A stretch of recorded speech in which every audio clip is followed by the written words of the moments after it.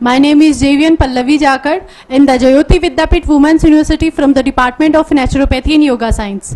तो हम last lecture में पढ़ रहे थे अबाउट द ब्लड प्रेशर तो अब का हम कंटिन्यू करते हैं उसी टॉपिक को। ओके okay, तो मैंने बता दिया था ब्लड प्रेशर हम आ, इसमें दो मेज़रमेंट लेते हैं। एक होता है सिस्टोलिक ठीक है इसके अंदर एक क्या होता है? सिस्टोलिक प्रेशर और एक होता है डायस्टोलिक डायस्टोलिक प्रेशर ठीक है?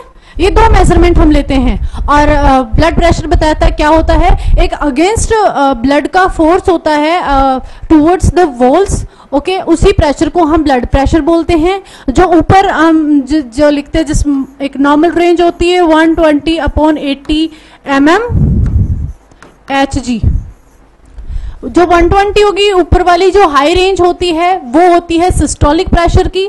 सिस्टोलिक प्रेशर कब होता है? जब हमारा हार्ट कॉन्ट्रैक्ट हो रहा होता है और ब्लड को पंप कर रहा होता है थ्रू द बॉडी और सिस्टोलिक प्रेशर कब होता है? जब हार्ट के अंदर हार्ट रेस्ट में होता है और उसके अंदर ब्लड फिल हो रहा होता है। ठीक है? हार्ट रेट रेस्ट की पोजीशन में डायस्टोलिक प्रेशर हमें मिलेगा और कॉन्ट्रेक्शन की सिचुएशन में हमें सिस्टोलिक प्रेशर मिलेगा। हाइयर नंबर होगा वो सिस्टोलिक का होगा लोअर नंबर होगा वो डायस्टोलिक होगा। एमएमएचजी का मतलब हो गया millimetre of mercury of mercury ठीक है? इसका मतलब ये होगा M M M M H G का मतलब मिलीमीटर ऑफ़ मरकरी ठीक है? अब हम करते हैं ब्लड प्रेशर हमें कैसे चेक करना है? ब्लड प्रेशर चेक करने से हमें पहले क्या करना है? तो मैं आपको पहले दिखा देती हूँ बता देती हूँ कुछ पोस्ट एक्टिविटीज़ जो हमें ब्लड प्रेशर मेजर करने से पहले करनी चाहिए। पहली चीज़ ये है कि हमें, जब हम ब्लड प्रेशर कहीं चेक करवाने जा रहे हैं तो उससे हमें पहले विद इन वन आवर के बिफोर हमें स्मोक ड्रिंक या फिर कुछ भी ऐसी चीज़ नहीं लेनी चाहिए जिससे हमारे ब्लड के प्रेशर पे कोई इफ़ेक्ट पड़े। ठीक है? दूसरी चीज़ आपको ब्लड प्रेशर चेक कराने से तुरंत पहले आपको एक बार यूरिन एक्सक्रीशन के लिए जाना चाहिए आपको वॉशरूम ज़रूर जाना चाहिए। तीसरी चीज़ होती है कि आपको कम से कम पाँच मिनट के लिए बैठना चाहिए रिलैक्स करना चाहिए उसके बाद में ही हमें हमारा ब्लड प्रेशर मेजर कराना चाहिए। चौथी चीज़ क्या होती है? As you can see in this diagram हमें एक आ, सिटिंग मतलब चेयर पे बैठना है, किसके अंदर? हमें, जिसमें हमारी बैक एकदम स्ट्रेट रहती है। हाँ इस चीज़ का ध्यान रखना कि यहाँ पे सोफा या कुशन ना हो। क्योंकि अगर सोफा कुशन वगैरह ऐसी कोई चीज़ होगी तो उसके अंदर क्या हो जाएगा कि हमारा जो बॉडी का पोस्चर है, वो स्ट्रेट ना रहने की बजाय बैंड हो जाएगा और उसके अंदर थोड़ा हमारा ब्लड मेज़रमेंट के अंदर इफ़ेक्ट पड़ता है। अब इसके अंदर हमें क्या करना है? एक फ्लैट चेयर पे बैठना है। हमारी बैकबोन एकदम सीधी होनी चाहिए। उसके बाद हमें सामने एक हार्ड सरफेस के ऊपर हमारा एल्बो या हमारा हाथ हमें सीधा रखना है। और ये जो हाथ है, इसका जहाँ पे हमें ये कफ लगेगा, वो हमारे हार्ट लेवल पे होना चाहिए। ठीक है? हार्ट का और उस कफ का जो पोजीशन का मतलब बोले तो हमारी फोर आर्म का और हार्ट का लेवल एकदम सेम होना चाहिए। मतलब हमें इस पोजीशन में रखना होता है। ना इससे नीचे जाना चाहिए, ना इससे हाथ ऊपर जाना चाहिए। ओके इसमें बैठने के बाद में हम ब्लड प्रेशर मेजर करना चाहिए। अब आ जाता है हम ब्लड प्रेशर कैसे मेजर करते हैं? ठीक है? इसमें क्या हो गया? हम एक डिवाइस यूज़ लेते हैं, जिसको हम क्या बोलते हैं? स्पिग्नोमैनोमीटर अब देख लो, इसके अंदर हो गई हम बीपी इंस्ट्रूमेंट के अंदर हम दो डिवाइस आती है हमारे पास। पहला आ गया स्पिग्नोमैनोमीटर दूसरा आ गया स्टेथोस्कोप ये होता है स्पिग्नोमैनोमीटर ये आ गया हमारा स्टेथोस्कोप ठीक है? ये दोनों डिवाइस हम मेडिकल फ़ील्ड के, हैं, हम मेडिकल कॉलेज के अगर स्टूडेंट्स हैं तो हम ये दोनों डिवाइस से बहुत अच्छे से हम नोन हैं, और हमने इनको कभी ना कभी यूज़ किया भी होगा। ठीक है? अब ये दो डिवाइस होती है जो हमारे ब्लड प्रेशर को मेजर करने के लिए काम में आती है। दैट इज़ द स्पिग्नोमिनोमीटर और जो इन्होंने लगा रखा है दैट इज़ स्टेथोस्कोप अब हमें मेजर करने के लिए क्या करना होता है? हमने पेशेंट की पोजीशन बता दी। अब पेशेंट के चेयर के लेवल पे ही डॉक्टर का चेयर होता है, वो रहना चाहिए। इसको हम मेजर कैसे करेंगे? उससे पहले आप मेजर करें, उससे पहले मैं आपको स्पिग्नोमैनोमीटर के जो पार्ट्स हैं, उनके आपको नाम बता देती हूँ। ठीक है? दिस इज़ स्पिग्नोमैनोमीटर ये वो स्पिग्नोमैनोमीटर है जिसको हम क्या बोलते हैं? Manual this is manual sphygmomanometer ठीक है? और एक होता है डिजिटल जो आजकल मोस्टली लोग काम में लेते हैं, जिसके अंदर आपको स्टेथोस्कोप की कोई ज़रूरत नहीं पड़ती, आपको पंप करने की ज़रूरत नहीं पड़ती, आपको मरकरी होल्डर कुछ भी नहीं चाहिए होता है। ठीक है? इसके अंदर क्या हो गया? जिस सामने हमने देखा होगा कि यहाँ पे एक मेज़रमेंट प्लेट होती है। ठीक है?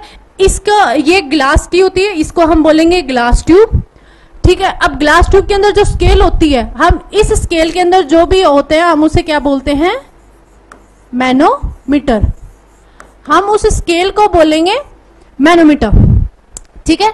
यहाँ पे ये जो स्ट्रक्चर आ गई, जैसे इसके अंदर, ये जो स्टील वाली स्ट्रक्चर आती है, इसे रिजर्वियर बोलते हैं और एक नाम और बोलते हैं दैट इज़ मर्क्यूरी होल्डर ठीक है? इसके अंदर क्या होता है? हम मेजर कर रहे होते हैं जो जो मर्करी इसके अंदर फिल होता है वो इसके अंदर रिज़र्व रहता है या फिर इसके अंदर मर्करी होल्ड रहता है। ये क्या हो गई? ट्यूब हो गई। ये हमारा क्या हो गया? पंप हो गया। ठीक है? ये जो इसमें देखो मेज़रमेंट है 200, 220, 260, 280 ये जो मेज़रमेंट होता है स्केल होती है क्या बोलते हैं? दैट इज़ मैनोमीटर ठीक है? अब आ गया, ये इतना सा कंप्लीट हो गया, ये मरकरी होल्डर आ गया, ये हमारा ट्यूब आ गई, जिसको हम रिजर्वियर भी बोलते हैं, ये केस आ गया, इसको हम बल्ब भी बोलते हैं, ठीक है? इसको बल्ब भी बोलते हैं और इसको हम पंप भी बोलते हैं, ठीक है? और इसके पास में जो ये स्टील वाला होता है जिससे हम क्या करते हैं? एयर रिलीज़ करते हैं। तो हम इसे क्या बोलते हैं? एयर रिलीजर भी बोलते हैं, ठीक है?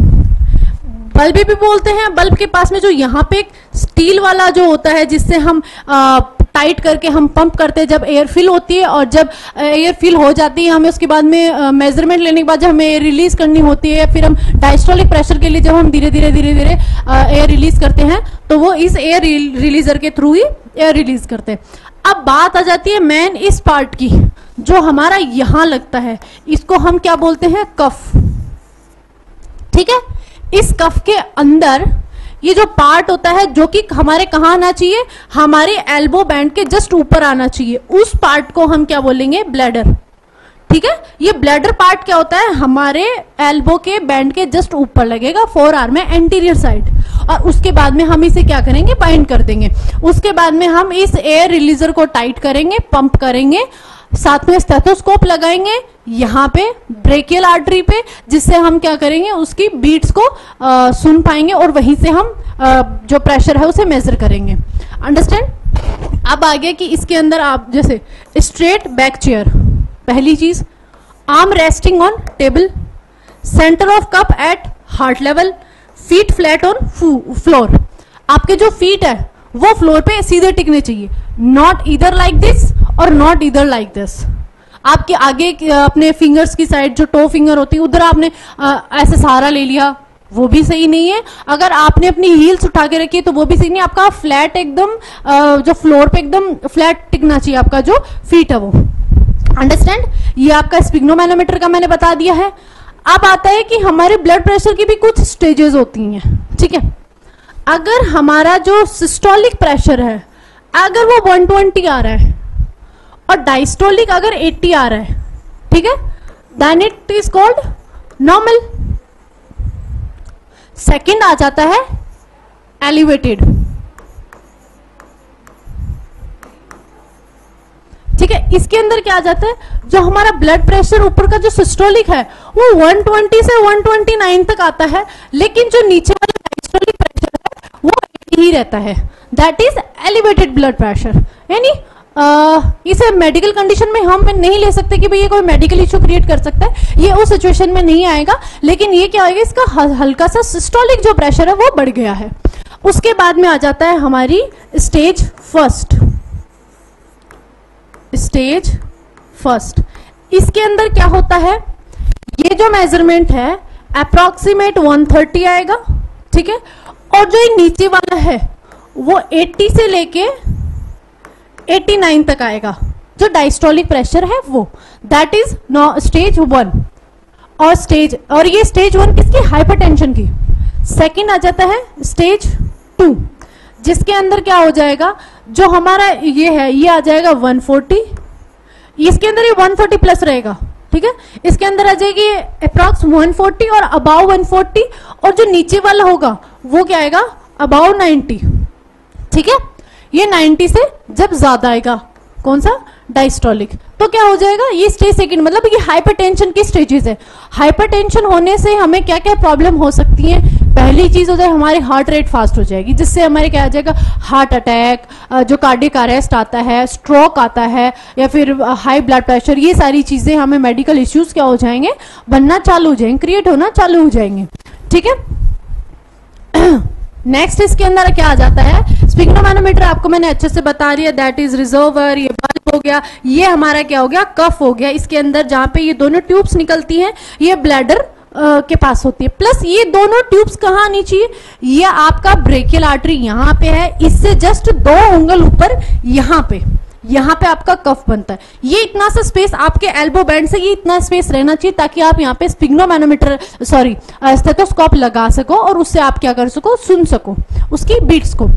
और प्लस आप जो कफ लगा रहे हो, वो इतना लूज टाइट कितना होना चाहिए कि आप जब उसके कफ के अंदर हाथ दे रहे हो तो आराम से आपकी दो उंगलियाँ इस तरह जाए, इतना टाइट ना आपको इसको खींचना पड़े, ना ऐसा हो कि आपकी उंगलियाँ भी अंदर ना। तो हमें ज़्यादा टाइट नहीं बांधना इसको। हमारी इजीली दो उंगलियाँ इंसर्ट हो जाए, हमें उतना ही लूज बांधना है। ठीक है? स्टेथोस्कोप का आपको पता ही है, हमें ये लीड्स होती है, कानों में लगानी होती है, ये हमें ब्रेकेल आर्टरी पे रखनी होती है। तो जब हम ब्लड प्रेशर मेजर करेंगे, हम सबसे पहले क्या करेंगे? हमारी मरकरी को कहाँ तक चढ़ा देंगे? अप्रोक्सीमेट जो अपन प्रैक्टिस टाइम में करते हैं तो 120 अगर नॉर्मल है तो हम क्या करेंगे? 140 तक हम क्या करेंगे? जो बल्ब है, उसको पंप करेंगे। ठीक है? जब वो मरकरी 140 तक आ जाएगी, ठीक है? तो फिर हम क्या करेंगे? यहाँ पे हमें बीट सुनना एकदम बंद हो जाएँगे। कुछ भी नहीं सुनाई देगा। फिर हम क्या करेंगे? धीरे धीरे क्या करेंगे? एयर रिलीज़ करेंगे। बल्ब में से, ठीक है? एयर क्या करेंगे? रिलीज़ फिर ये धीरे धीरे धीरे धीरे नीचे आएगा। अप्रोक्सीमेट ठीक है? अप्रोक्सीमेट इस 120 के पास आते आते आपको क्या बीट सुनाई देगी। जहाँ पे आपको बीट सुनाई दे दैट इज़ सिस्टोलिक जहाँ पे आपको किसका पता चले? बीट सुनाई दे रही है। और जब आप इसे और नीचे आएँगे तो अप्रोक्सीमेट 80 मैं आपको जो नॉर्मल ब्लड प्रेशर है, उसके लिए बता रही हूँ। 80 के पास आते आते आपको जो प्रेशर मेजर होगा, वो कौन सा होगा? दैट इज़ डायस्टोलिक प्रेशर और इसमें आपको क्या होगा, जो बीट्स हैं, वो सुनना बंद हो जाएँगे। आपने पूरा पंप के बीट बंद हो गई। वापस धीरे धीरे धीरे नीचे डाउन के आ, आपको क्या हुआ? बीट सुनना चालू हुई। दैट इज़ सिस्टोलिक प्रेशर फिर आप वापस धीरे धीरे नीचे जहाँ पे आपको वापस बीट सुनना बंद हो जाए। दैट इज़ डायस्टोलिक सिस्टोलिक कब होगा? जब हमारा आ, क्या होता है? हार्ट कॉन्ट्रैक्ट होता है। ठीक है? जब हमारा हार्ट किस स्टेज में होता है? कॉन्ट्रैक्ट फॉर्म में। और वो कॉन्ट्रैक्ट होगा तो वो क्या करेगा? जो ब्लड है आ,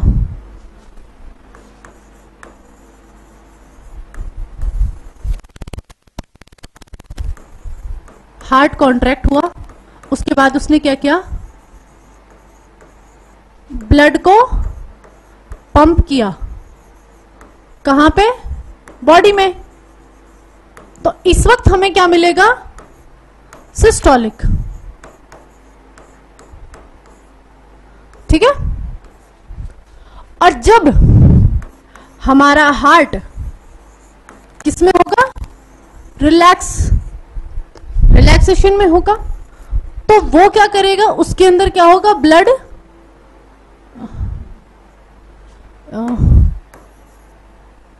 तो इसके अंदर क्या हो जाएगा? जो ब्लड है, वो फिल होगा। किसके अंदर? हार्ट के अंदर। और इस ब्लड फिल होगा किसके अंदर? हार्ट के अंदर। और हमें इससे क्या मिलेगा? डाइस्टोलिक ठीक है? समझ में आ गया? इस तरह हम क्या करेंगे? ब्लड प्रेशर को हम मेजर करेंगे। ये दो डिवाइस यूज़ की जाती है, प्लस जो मेजर करने का है, वो पोजीशन ये है, और मैंने आपको इसके पार्ट भी समझा दिए, प्लस आपको दोनों प्रेशर समझा दिए थे, समझा दिए कि जो हाई मेज़रमेंट आता है हाई अमाउंट आता है, वो सिस्टोलिक होता है लोअर डायस्टोलिक होता है। ठीक है? ये सब आपको समझा दिया। आई होप सबको ब्लड प्रेशर मेजर करना, और प्लस इसकी डिवाइस का नॉलेज कंप्लीटली मिल चुका होगा। अदरवाइज़ आपको कोई भी डाउट है you can ask me in the below